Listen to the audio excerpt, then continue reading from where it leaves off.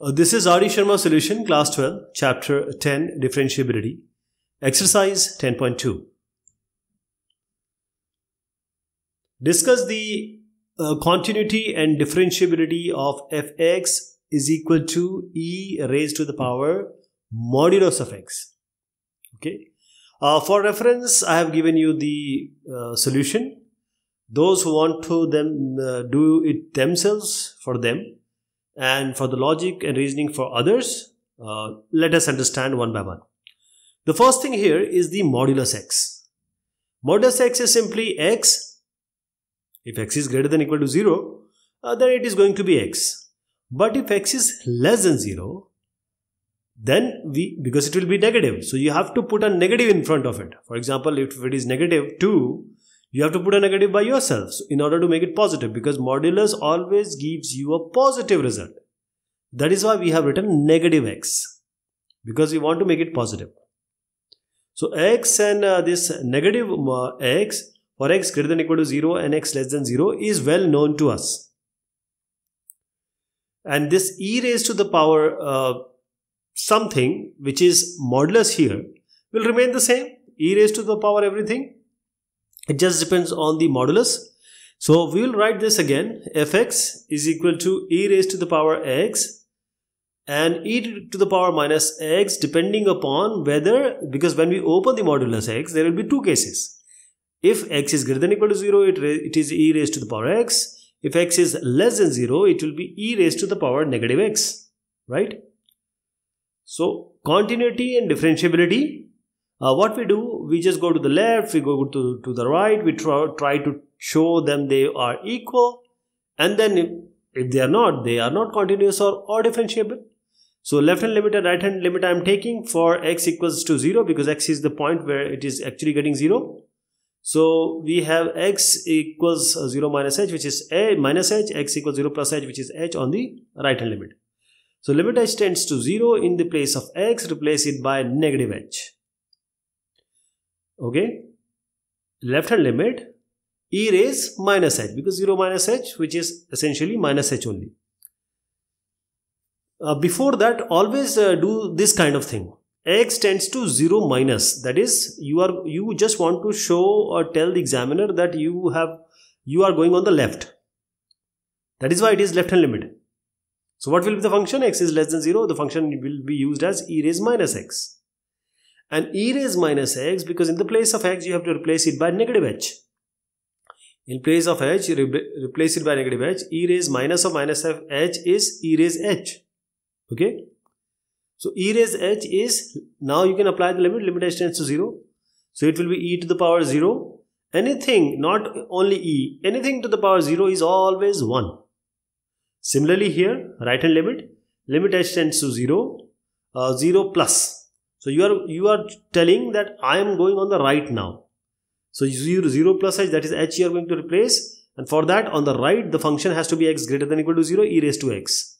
In place of x I have replaced it by h e raised to h now replace it by 0 e raised to 0 is a 1. Anything to the power 0 is 1. So both are 1. So left hand limit and right hand limit both are equal to 1. You can e easily say the function is continuous at x equals to 0. Along with this you have to check one more thing which is, which is uh, what is the value of the function at this point? 0 f0 is what? Is 0 is what? E to the power 0 which is going to be 1 again. So x equals 0 continuity is established. Now we'll uh, turn our direction towards the differentiability. Okay?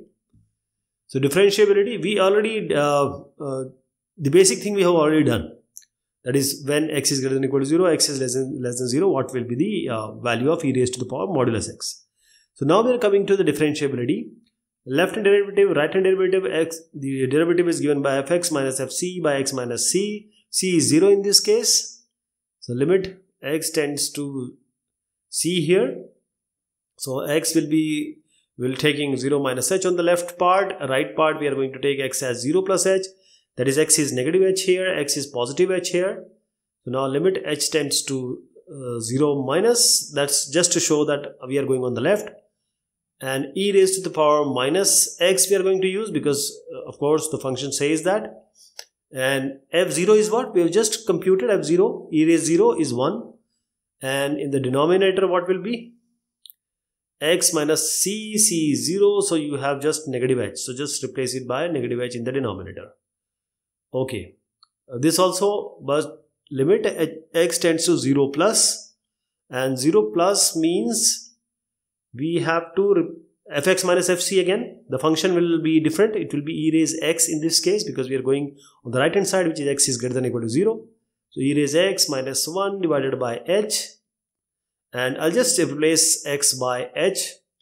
Uh, in the left hand limit x will be replaced by negative h. So it will be e raise minus of minus h that is e raise h minus 1 by h. Here we have e raise h minus 1 by h. Now we know what we have to do. Limit h tends to 0 oh uh, remember that uh, minus h is already there on the left hand limit okay?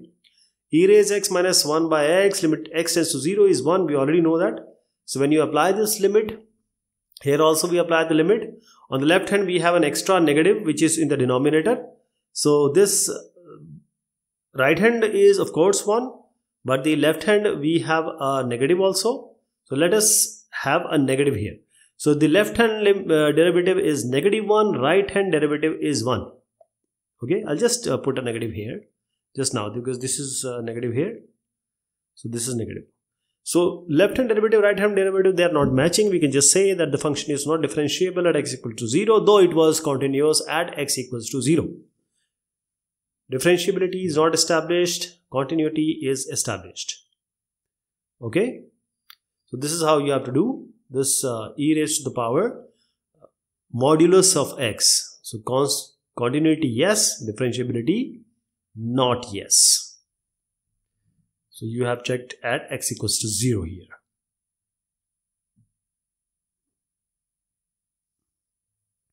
Discuss the continuity and differentiability of this function. So at x equals to c it is 0, at x not equal to c it is uh, this function x minus c cos 1 by x minus c. So left hand limit and right hand limit we are going to check and x will be because the point is c here already given in the question. So c minus h will put on the left hand limit, uh, right hand limit. This is the point c I'm talking about. Uh, either you want to go to the left or the right and just uh, subtract small h, add small h and x is equal to c plus h c minus h and c plus h and replace it uh, in the place or put it in the place of x. So x is c minus h minus c cos 1 by x I am writing it as c minus h minus c. Here also same thing. This is c plus h. So x is c plus h minus c cos 1 by c plus h minus c. Okay. So this goes negative h cos uh, cos of minus 1 by h it is. And this cos minus theta is is plus cos theta. And please remember everywhere you have to put limit h tends to 0 that I have been telling you uh, always that I'm not writing it just because we want to save time and effort but you have to write this limit h tends to 0 everywhere so h cos 1 by h on the right hand uh, limit Cos minus theta is what? Cos negative theta is uh, plus cos theta. So this cos, whether it is negative or positive, doesn't matter. Uh, since we have a negative h here, we have negative h cos 1 by h. This is h cos 1 by h. Okay. Now cos and sine, they are bounded function. How they are bounded function?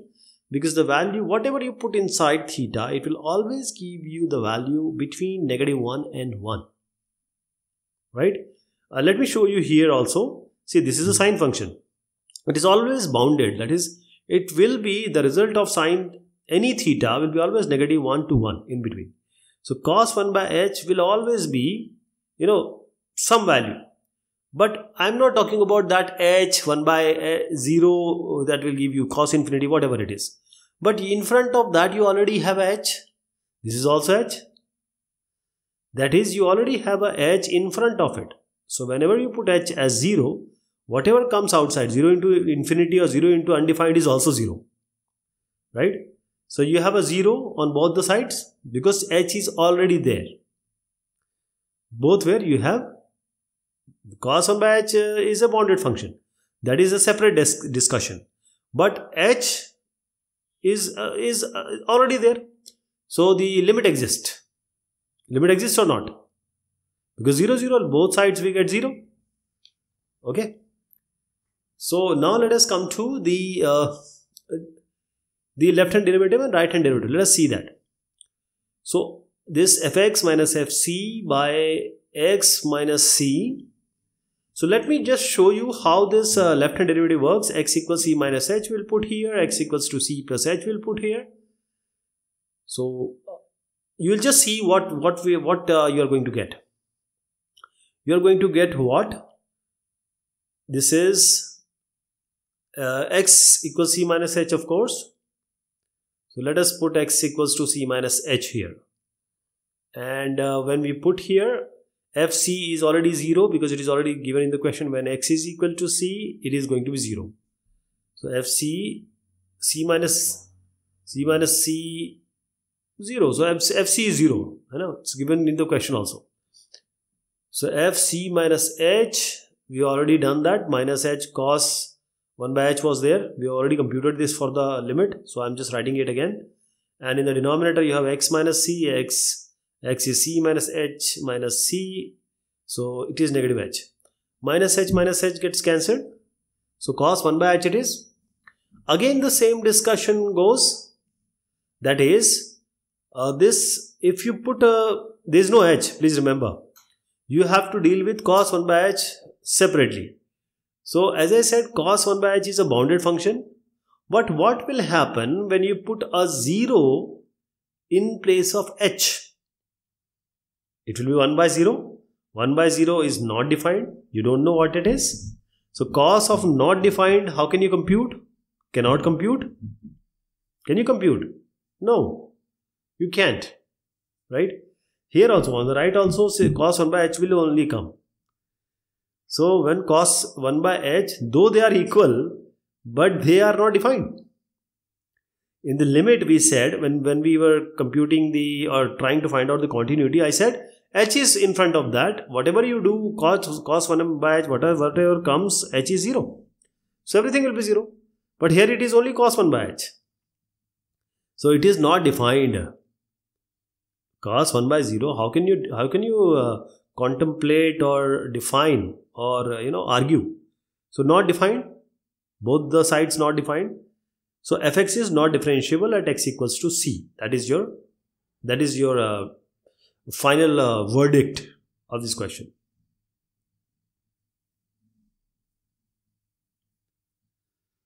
Is sine x modulus of sine x differentiable? What about cos modulus x? So, for those who want to do it themselves, I have uh, given a reference of solution.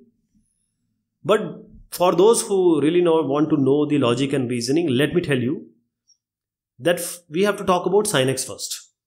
Sin x value is always between negative 1 and 1.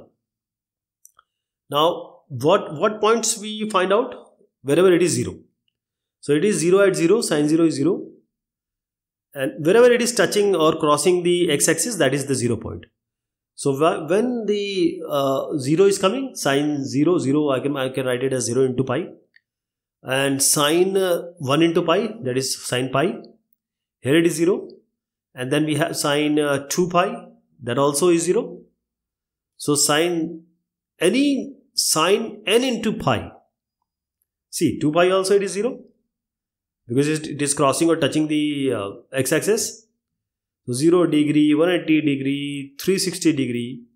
All these n pi n is the uh, the numbers from 0 to you can go go up to infinite. And this n can be uh, negative also. So it can be uh, to negative uh, infinity also. So you can call it that okay we are talking about the the numbers which are actually the integers. So it is very clear from the diagram that all the n pi values is giving you a zero value. So what what do we do in uh, continuity and differentiability? We all always check at where this when this function is going to be zero okay? So the maximum value and minimum value of sine x I already told you is always between minus 1 and 1 sine x or sine theta whatever you write it is a bounded function we already saw just now. So this is uh, uh, the boundation. And the value of sine for any n pi is 0 so our point of contention for the differentiability or the continuity will always be that point where it is going to be 0 and this is where uh, the quadrants I, I need to show where where the trigonometric function are positive or negative so the first quadrant all are positive, second quadrant sine is only positive, third quadrant only tan is positive, fourth quadrant it is always cos cos positive. First quadrant all are positive. So when you go round and round that is one round is 2 pi. So first is 0 then we have this one as pi then we go to 2 pi then we go to 3 pi like this. 1 pi is 180 degree. So every time when we get n pi we get even numbers and odd numbers also. So n pi sine n pi. We have sine n pi plus if you n pi minus theta, it will be, it can be in the second quadrant or when you do sine n pi minus theta, it can be in the fourth quadrant also. Same way, if you do sine n pi plus theta, it can be in the in the third quadrant or sine n pi plus theta can be in the first quadrant right so sine n pi minus theta depending upon whether it is odd or even whether it is uh, 0 180 2 or 360 or likewise you know just add 180 180 180 the n pi minus theta and n pi plus theta will change it will not remain same. Please remember. That is why I showed you this add sugar to coffee. You have to be very clear about this. Right? So this concept is very important because uh, most of the solutions which I I have encountered, they have already all, only talked about n. They have not taken this n uh, even or n odd separately because this is very important. Because every time odd is there, the uh, value is different even the value will be different. So let us see here left hand derivative and right hand derivative for uh, let us uh, take the even. I will leave the odd one for you just for you to have uh, go through it because after all you are the guys who are going to give the exam. So mod x is what? x greater than equal to 0 negative x if x is less than 0. Same way sine x if you sine if you uh, remove the mod of sine x, when it will be uh, negative x or positive x? When x is greater than equal to n pi, it will be sine x, positive. That is when you are going up. When you are going up, it will be sine x. Right? But when you are going down, because when you are going down, when you are going from 0 to negative 1, by yourself you have to put a negative sign in front of sine x so that you you don't go to the negative y-axis you always have to be on the positive y-axis for the modulus that is why it will be minus sine x for x less than uh, n pi why n pi we have taken because at that n pi's this function is becoming 0 right? So these are the these this n pi is the point where we are going to check for the uh, left hand uh, derivative and right hand derivative. And this we have to check separately for even and odd. So x equal to n pi n is even. You have to show to the examiner for odd also. Please remember you can't just say that n is any number they are even and odd and the different uh, version is there solution is there so fx minus f uh, c excuse me by x minus c this uh, c is n pi here. So left hand derivative, what do we do? x equals to n pi minus h will put. And uh, on the right hand derivative, we'll put x as n pi plus h. So x is n pi minus h, x is n pi plus h. So put it in uh, this formula fx minus fn pi. So limit x tends to n pi uh, plus uh, minus you can say on the left hand uh, part and x tends to n pi plus. Uh, I've, I've written it differently. Just, uh, you know, correct this mistake. n pi minus and n pi plus it is. I've uh, written it, you know, uh, I swapped it actually. So n pi minus, so limit h tends to 0. fx is what? Sine. Now n pi minus h, when you are on the left, x is less than uh, n pi, so you have to use minus sine x here. Sine minus sine n pi minus h and minus sine n pi divided by x is n pi minus h, so n pi minus h minus n pi, what will be there? N pi minus h minus n pi, n pi, n pi gets cancelled, you have a negative h here.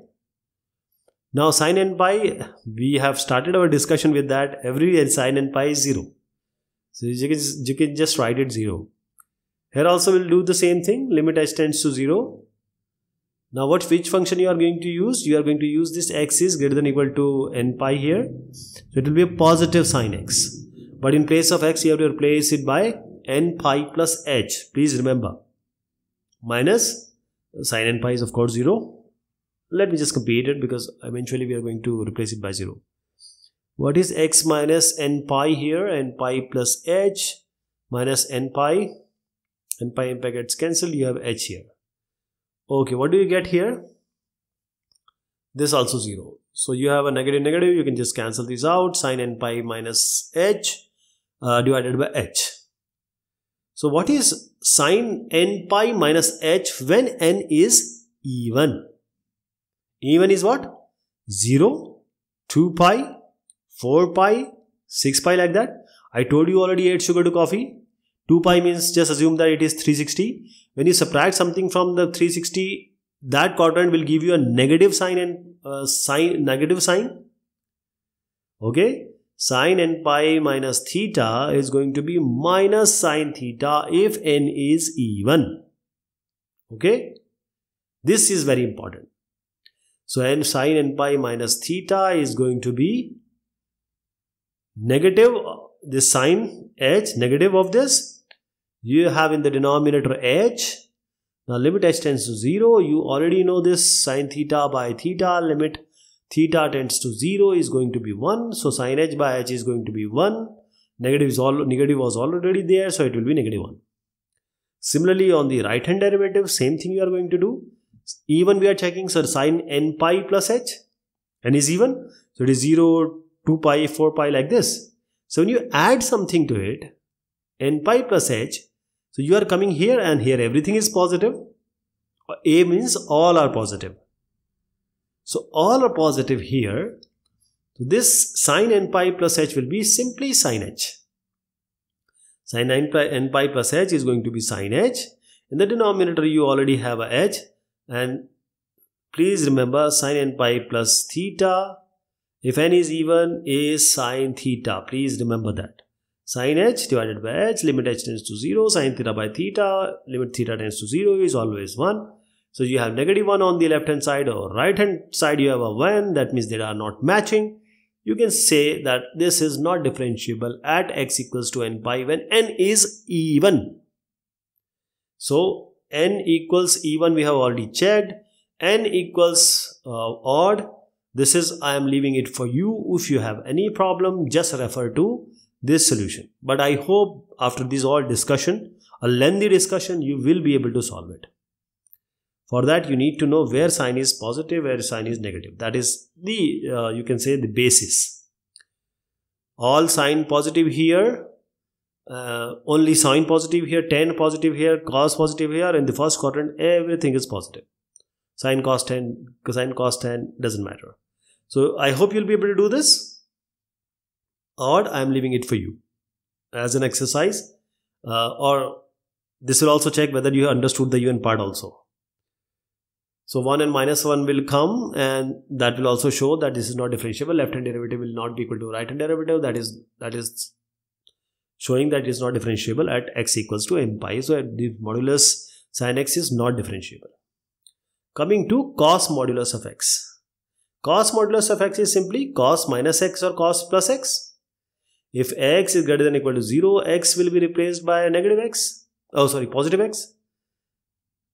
if x is greater than equal to 0 only we have this modulus is only at x not at cos right? And what when x is less than 0 mod x will be replaced by negative x. So cos x and cos minus x. What is cos minus theta? We already seen a number of time, times cos minus theta is uh, cos theta only. Okay? Cos theta and cos minus theta they both are cos theta only so whenever, whenever we do every this, it, it will always be cos theta. So cos theta is differentiable everywhere because cos minus theta is cos theta. Because sine minus theta is minus sine theta. And sine theta is theta. So sine theta that's why if sine mod sine uh, mod x it would have been then we have to talk about sine in length. But cos mod x is simply cos is cos everywhere. Negative positive doesn't matter Okay, this is all about this discussion. Thank you so much and take care of yourself.